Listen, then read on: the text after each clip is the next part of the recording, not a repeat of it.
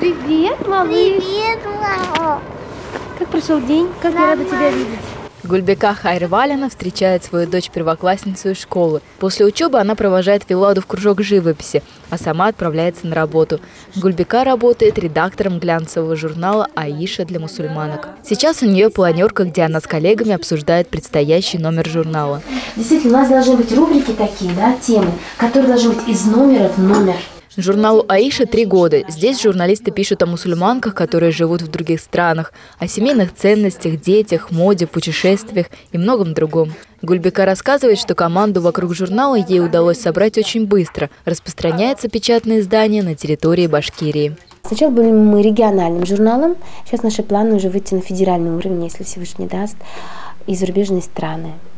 И сейчас абсолютно полный ребрендинг журнала идет. Мы его полностью обновляем, вплоть до логотипа. Но слоган «Счастье в руках» мы оставляем обязательно. Гульбека рассказывает, что замужем она 16 лет, и муж поддерживает ее во всех начинаниях. Я поняла, что для мужчины, оказывается, важно, чтобы его женщина была реализована. Да, сначала ты должна быть все-таки как жена специалист, профессионал. И если ты все дома обустроила, успокоила, накормила, вот тогда иди и занимайся чем хочешь, ну, творчеством, работой. Поэтому муж у меня спокойно относится к этому. Он мне помогает, он мне подсказывает. Я советуюсь только с ним. И потом с командой. А потом, уповая на Всевышнего, все это делаем. Вокруг себя Гульбека собрала команду единомышленников и профессионалов, которые друг друга понимают с полуслова. На работу девушки приходят как на праздник. Для коллег Гульбека является не только работодателем, но и прежде всего подругой, наставником.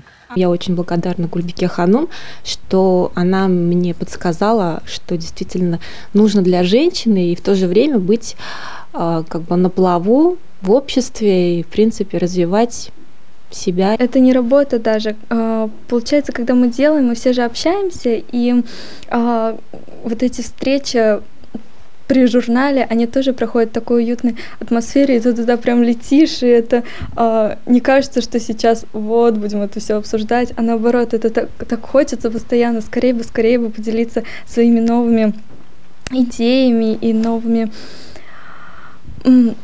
проектами, что, чтобы мы все это обсуждали вместе, и всегда это так интересно, мне очень нравится. Все очень деликатно, все нежно, по-женски. Ну, здесь надо переделать, здесь нужно сделать что-то получше, здесь нужно исправить. Или, ну, давай еще чуть-чуть постарайся. Или что-то еще, может, поинтереснее попробуешь придумать. То есть, можно сказать, что строгий, но уместно. Со многими девушками, с кем знакомится Гульбека, она начинает вдохновлять их на новые проекты. Они учатся у нее жизни, а некоторым даже удается вместе с Гульбекой поработать. Так произошло и с Линдой. В настоящее время она ее правая рука. Поняла, что мне эта женщина очень близка, я хочу быть с ней, хочу учиться у нее.